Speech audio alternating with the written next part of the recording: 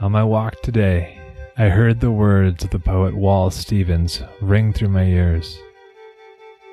The poet is the priest of the invisible. Hey everyone, it's Paul, and this is Contemplify, where we seek to kindle the examined life for contemplatives in the world. Contemplify is a podcast that's been around for a few years now and has embodied the independent spirit and has grown in ways that I never thought possible. Thanks to those of you willing to pass this on to kindred spirits and also rating it and reviewing it on Apple Podcasts. Thanks to all who have done so.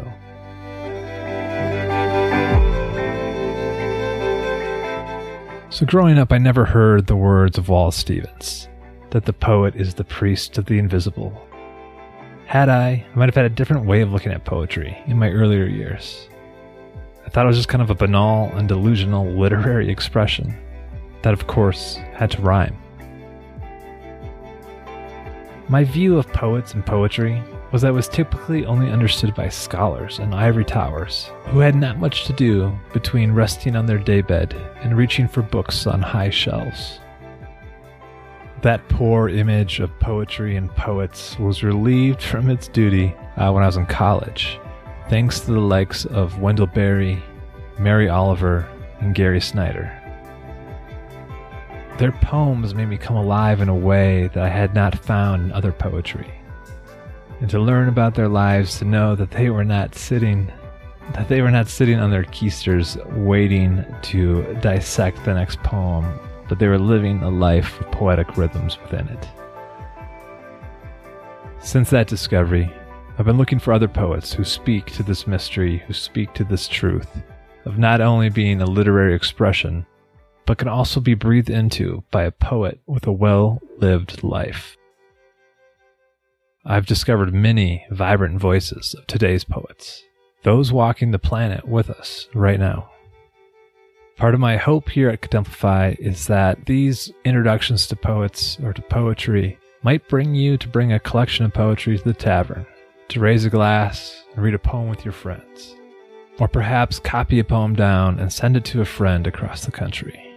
Or who knows, maybe jot a few verses down when inspiration strikes you.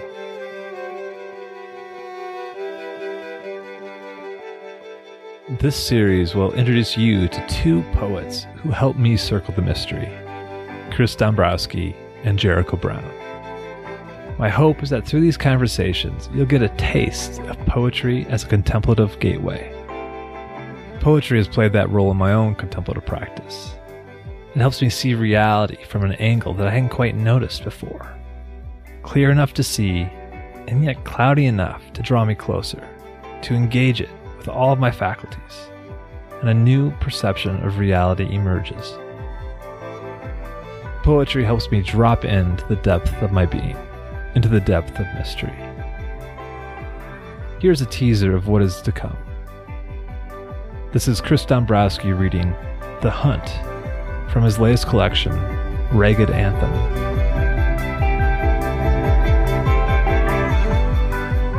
Okay, this is called The Hunt. The toothless milkmaid I'd mistakenly called Sir, upon whose land I'd asked to trespass, said her acres were mine. Hoarfrost quiet, the missions hidden in a long lake deep cloud the flatheads blue, bending with a sense of ownership through the valley. A flush, explosion of snow above the rose hips, a long shot missed. I stopped to say a few words to the roots of an old willow I'd met years ago, who was shy at first, what with my absence and all. We touched as the pup pointed a ghost of a partridge I once killed. A large covey's tracks led through Russian olive into bull thistles, and horizon held ample light, my game bag, mere feathers.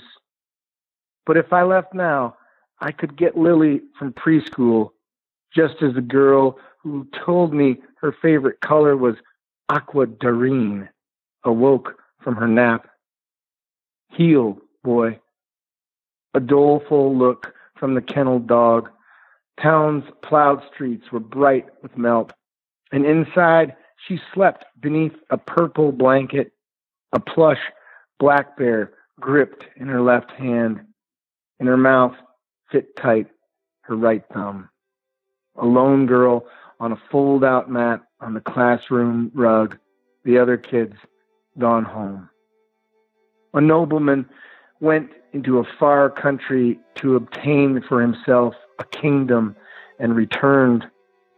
Far from noble, I knelt before her and let my kingdom sleep a little while longer, then spoke softly, softly, to wake her from whose dream I could not say. And Jericho Brown reading Of My Fury from his latest collection, The Tradition.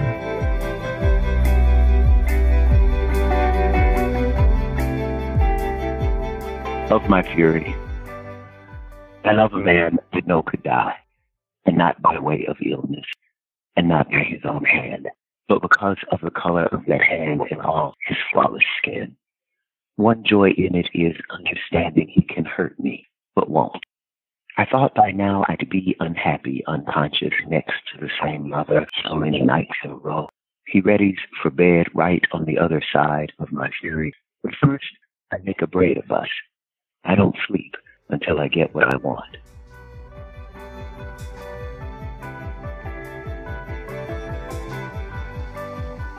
I'm looking forward to bringing these conversations and the poetry of Chris Dombrowski and Jericho Brown to your ears here in the next few weeks.